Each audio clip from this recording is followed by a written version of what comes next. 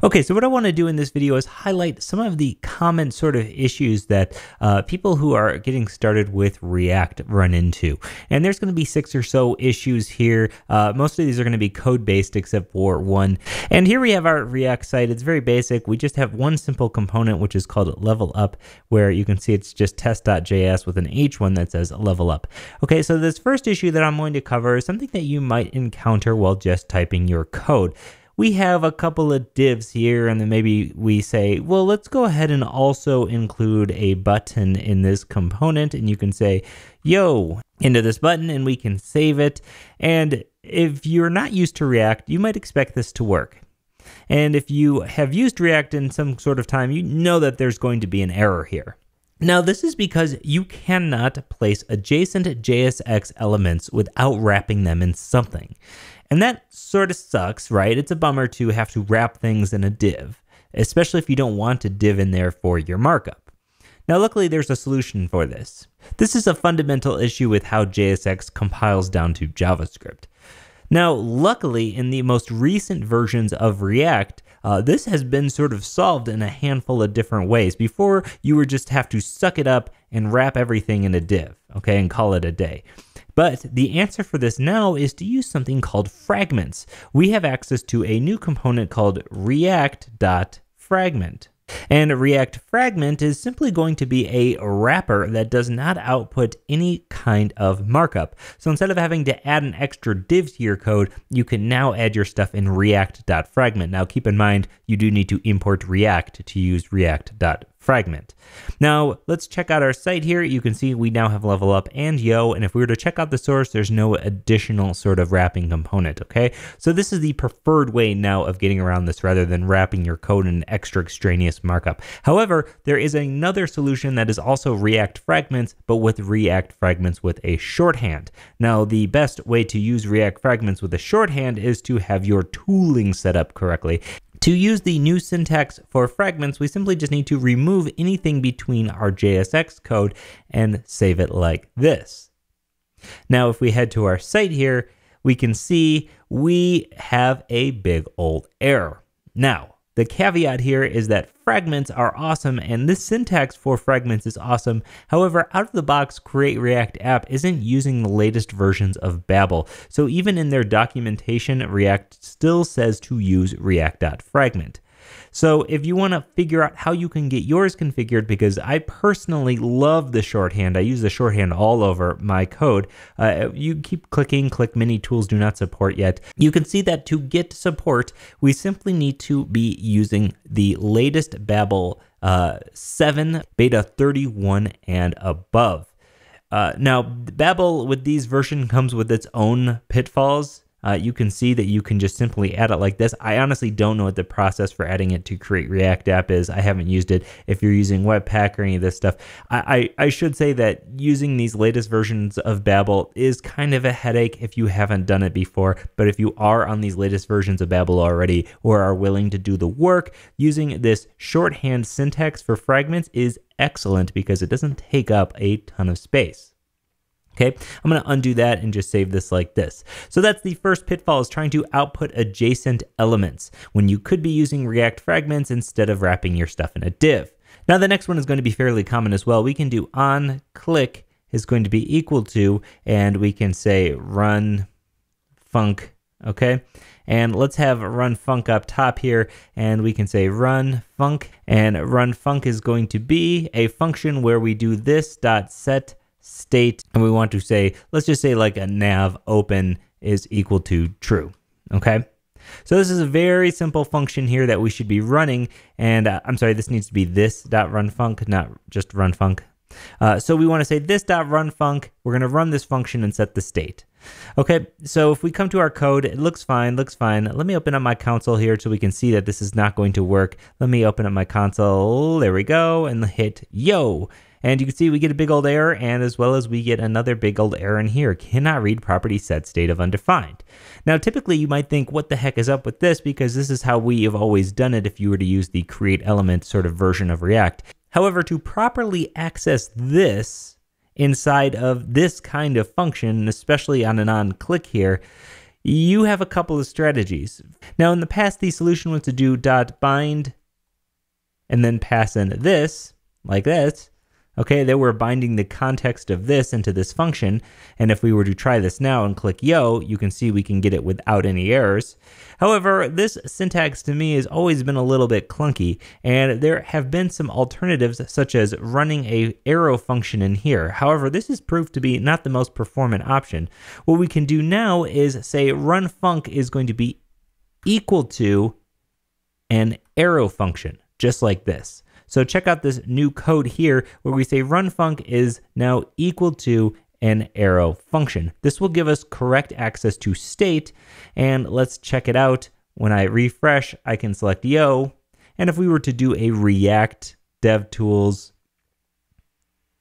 um, inspect on this thing, we were to check it out inside of test, you could see the state has been set open to true. Okay, so this is a common pitfall that this dot set state, uh, this is not defined, cannot set state of undefined. Okay, so this is the ideal modern solution to this thing, although this solution for what you do in here has changed like eight times, so who knows if it will change again in the future. Uh, but right now, this is the preferred way of doing it if you need to access this .set state. Okay, next we have an issue that really stems from the evolution of React. And uh, this is not necessarily uh, something that you need to worry about if you're using the latest Create React app, as well as the tools and stuff like that. But the problem here is what happens if you start following a tutorial, you come into your new file, and instead of doing a new create class, we start coming in here and we say react.create and then we have a function and an object, and inside of here we have a render function. And some of this stuff looks very similar, and there's some differences of how we actually wrote code like this. Uh, and you might be thinking, hey, what's wrong with this? The problem is, is that this is no longer the syntax. Uh, so if you are using react.create class, what you want to be doing is bouncing on over to the class component name extends component syntax, where we have a class instead of a function to create our components. So, using outdated syntax is a common gotcha that people run into when they see older tutorials that use things like React.create class. So, you always want to make sure you're using the latest uh, class syntax here. My recommendation is to get a React snippet library, especially if you're using something like a text editor here or any of these things. Let me just see which one I have installed. I have React native snippets. I have ES7 React Redux GraphQL React snippets. This one, um, this one's excellent because you can come in here and I can just say RCC for React create class, and then here we go, gets you everything perfectly.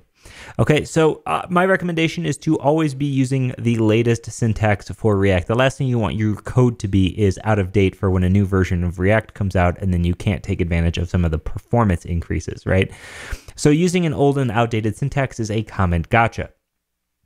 Now let's talk about another one here. Let's say we have a component here, and let's remove this export default here. What we're going to be seeing here is an error that says type is invalid, expected. Uh, let's see. And this error can be manifested in different ways. You might be seeing something like it expected uh, React create element expected a different type or something like that.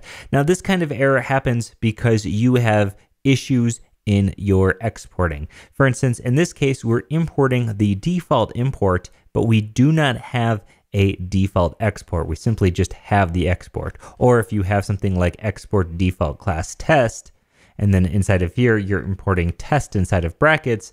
This is a fundamental issue with importing and exporting in JavaScript and something that can happen all the time. If you are seeing that your component is not being imported correctly, In fact, here's the error that I'm talking about. Element type is invalid, expected a string for built-in components or a class function for composite components, but got undefined. That error, if you are getting that error, that means there is something incorrect with your import or your export. So if you are ever seeing that error where it's expecting something different, then that means that React is not getting a component when you're attempting to use it down here, and therefore it's going to error out. So my suggestion is to head to your component file, confirm what you are exporting, in this case export default. So head here first to confirm what you're exporting, and then come to your component that you're using it in, and then confirm what you're importing it in to make sure that it's correct.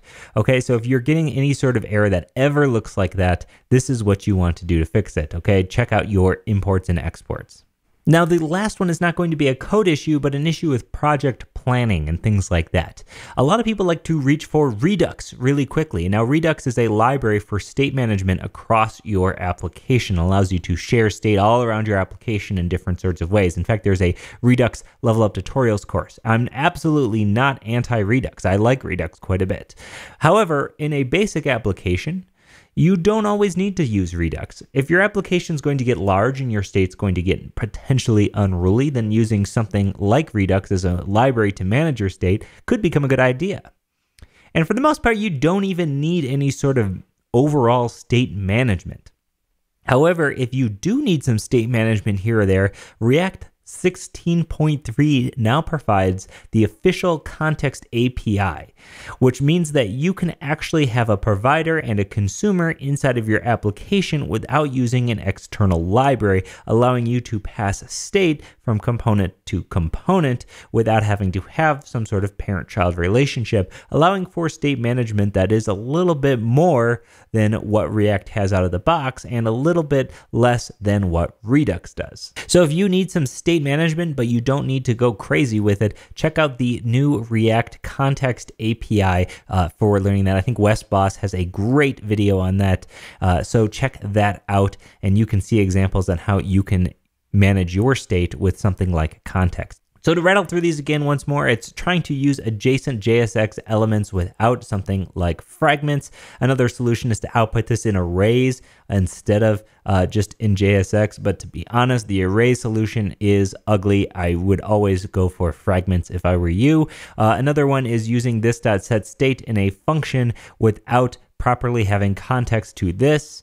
Another one is using outdated or old syntax. So you want to be using the latest ES7 React syntax, the stuff that you get sort of out of the box with Create React app. Next is going to be having incorrect imports and exports, therefore getting some sort of error where React does not see that you have an actual component and is saying, hey, your type is invalid.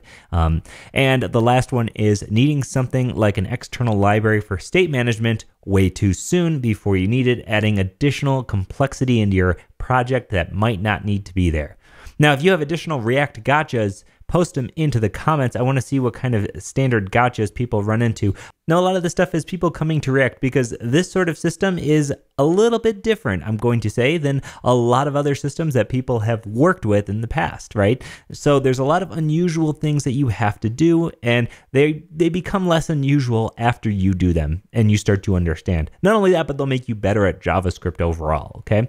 So as always, this is Scott with Level Up Tutorials. If you would like to learn more about React, head on over to leveluptutorials.com and you can check out all of these awesome pro series. I just released a new series this month using uh, headless WordPress with Gatsby and Next.js that uses React in all sorts of different ways with WordPress, Pro Gatsby for static site generation. I also have React 16 for everyone, which is a series teaching you all of the core fundamental skills for React. So check it out, leveluptutorials.com. Thank you so much for watching, and I'll see you in the next one.